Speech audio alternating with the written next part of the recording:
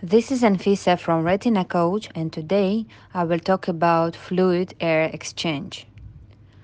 Fluid air exchange is done by simultaneous injection of air into the vitreous cavity and removal of fluid. There are a few reasons why fluid air exchange is done during the surgery. First of all, air used as an important tool for retinal reattachment and removal of subretinal fluid during retinal detachment surgery. Second is that fluid in the vitreous cavity should be replaced by air during the surgery for further performance of air gas or air oil exchange for stronger tamponade. Third is that air by itself can be used as a short-term tamponade in the end of the case. What you see in this video is the case of retinal detachment repair.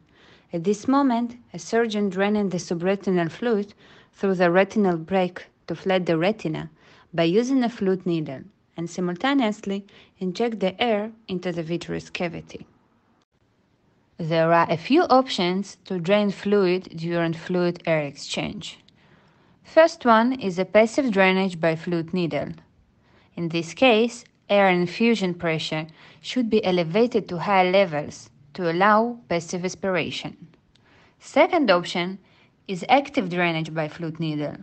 In this case, air infusion pressure can be left in the normal ranges because vacuum created by the machine.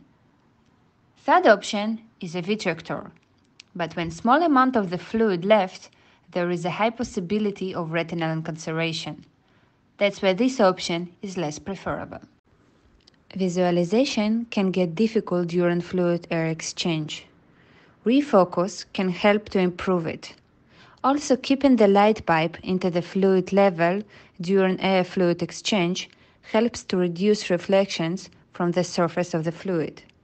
In case of patient with zonal lysis or with anterior chamber lens, some air bubbles can float to the anterior chamber and significantly complicate visualization of the retina.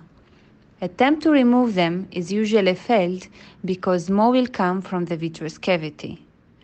Merging of the bubbles or injection of the viscoelastic material into anterior chamber can help in this case.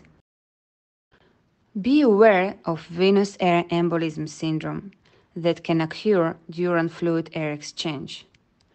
Embolism could happen when accidentally air being infused suprachoroidally instead of intravitreally.